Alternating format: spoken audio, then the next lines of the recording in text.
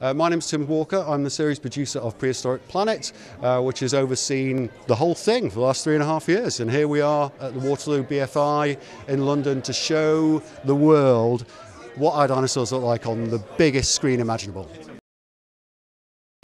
We're living in a golden age of dinosaur interpretation at the moment. Over the last 25 years or so, there's been a realization that the fossil record alone doesn't tell us everything we need to know about dinosaurs and especially their behavior. So what we've done over the last 25 years is start to introduce phylogenetic bracketing, where you look on the evolutionary tree and see which animals lived along, which, which animals uh, have evolved alongside the dinosaurs. So for example, with T-Rex, we see that crocodilians are on one side and we see that birds are on the other. That means means we can start to infer behaviours uh, from those living animals and, and introduce them to what we know from the fossil record.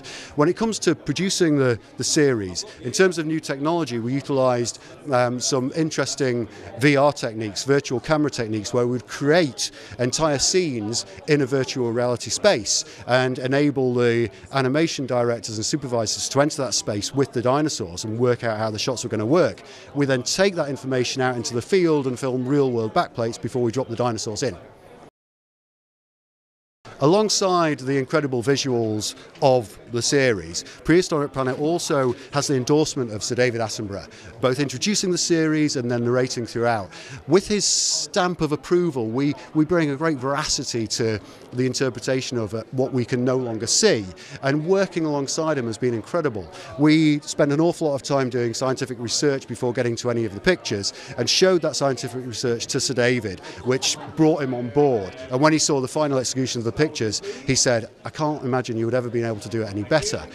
We also added a wonderful score by Hans Zimmer and the Bleeding Fingers team, led by Anže and Kara, two fantastic composers who bring a real emotional cinematic score across the whole series, which just lifts the storytelling, brings everything together, just like putting together all the ingredients of a wonderful cake and enjoying a final slice. Across the five episodes, we investigate different biomes or habitats in each episode. So we start with the coastal regions around the world where we see behaviours of animals that are both aquatic but also associated with the coast and on land.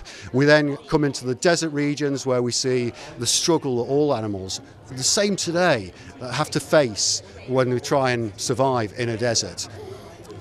Fresh water plays a key role in uh, every animal's survival, and that's the, the theme for our third episode. We get to see animals living in swampy conditions, we get to see animals living alongside rivers, and then as we go into the fourth episode, we see the ice worlds. Now, this is two of the coolest things dinosaurs and snow together. You can't get much better than that. And one of the things that people maybe didn't realize that the dinosaurs did live in polar conditions. And our final episode is about forests. The world was covered at the time, 66 million years ago, by a lot of forest of different types. And we investigated the different animals that survived in those forests.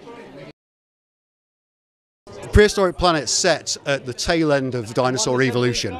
Dinosaurs were around for about 150 million years or so, and we're showcasing just the last five or six million years of their their, their evolutionary period. Now, in that period, we have T-Rex, the most iconic dinosaur of all, and people have realised it in different ways for you know the last 50 to 100 years since it was discovered.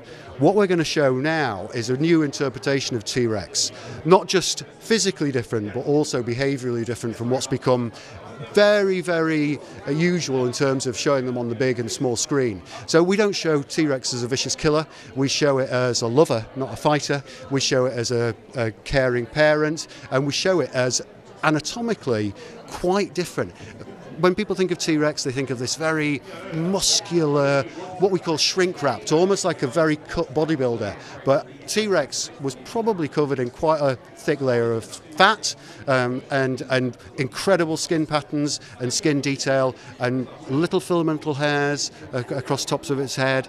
I think people will be really pleasantly surprised by the new rendition of, uh, of T Rex.